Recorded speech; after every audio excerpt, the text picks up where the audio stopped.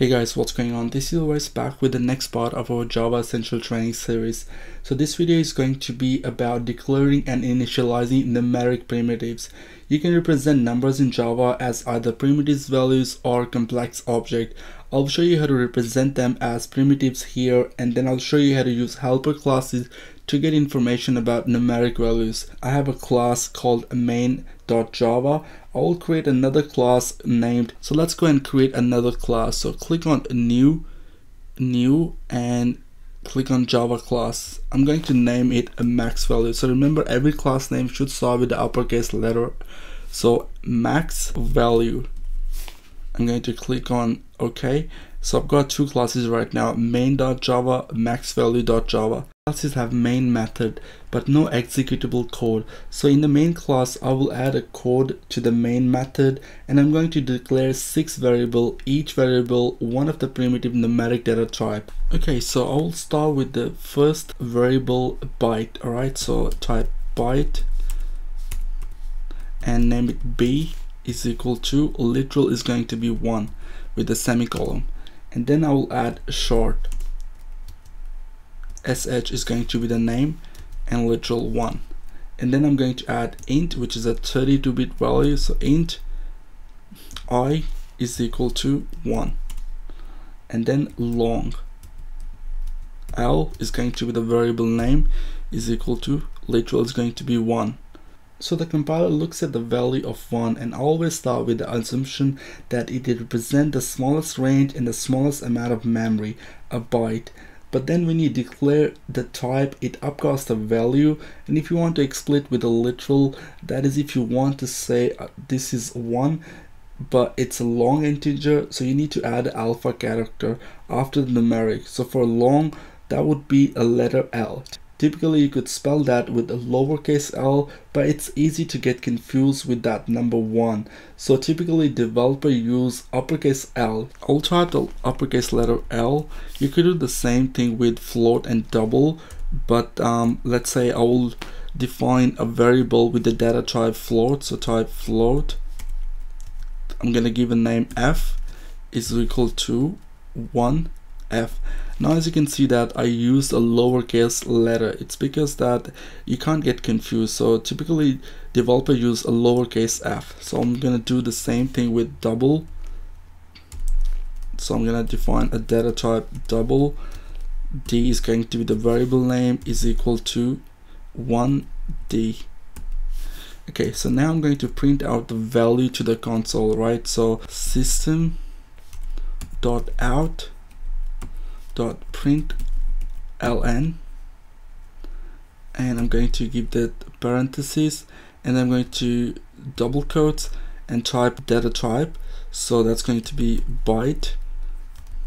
And then I'm going to add a concatenation with plus sign. I'm going to type b. Alright and then semicolon right? So let's try running it right? So I'm going to debug the program first and then let's apply that. It's giving me an error right now. I need to add a method. So I haven't added the method yet. So let's add a method. So type public static void main add a parenthesis string values and I'm going to add some brackets then give arguments args alright? So next we're gonna add a code block braces and then I'm going to copy all of this code let's say control X and then paste it here. Fix up the tabulation here. Now let's debug the code. It should work fine now. And let's run it. So as you can see that I've got the uh, answer byte 1 so I'm going to add a space here right?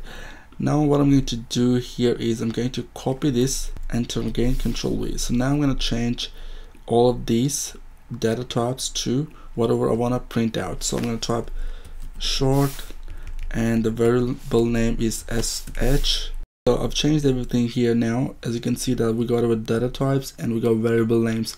So I'm gonna debug that and I'm gonna run the program. So now as you can see that we got the values and we got the float by 1.0 right? So now let's have a look how to use helper class. To the max value class and I'll add a code in a main method and I will declare a byte value named b and this time I will assign its a value of 127 so let's go to our max value class. First I need to add the method. So let's type public static void main is a method name and then give this uh, method array string and then brackets and then arguments which is going to be arg typically arg or it's up to you whatever you want to name it.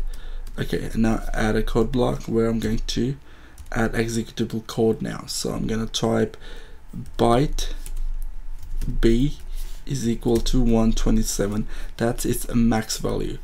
Okay so next I'm gonna print it out to the console. So type system dot out dot print ln and then parentheses add a double quotes and then I'm going to type a data type name. So which is going to be byte add a space double quote and concatenation with plus sign and then b.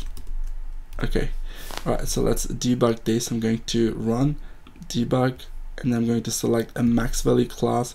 It's going to debug that and let's run it. It's already been run but let's click on display button. So I've got the byte with 127 value right I will increment the value by 1 with the expression b so let's type b semicolon. The operator plus plus means increment by 1 and then I will copy and paste the line of the code that outputs the value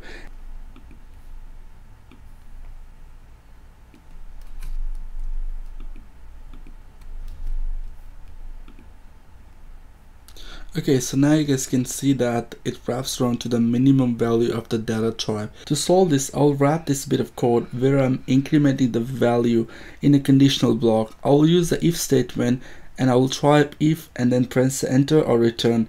And I will say if b less than equal to byte with the uppercase b dot max value and then I will add a code and I will move this bit of code into the code block. The if statement is pretty obvious.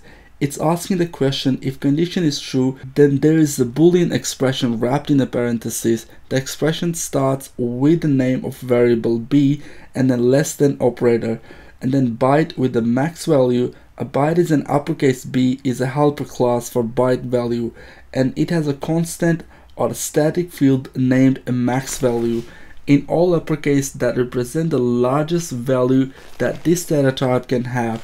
So I'm saying only increment the value if the value of b isn't already at the max value. Then I will run the code again and this time the byte says at 127 because the line of the code is skipped. So you can try the same sort of operation with all of the different primitives and numeric data types. Set a value and check to see whether it matches the max value or less than the max value. Alright guys, thanks for watching. If you have any question, let me know in the comments below and don't forget to subscribe. Thanks for watching again and I'll talk to you guys in the next video. Cheers.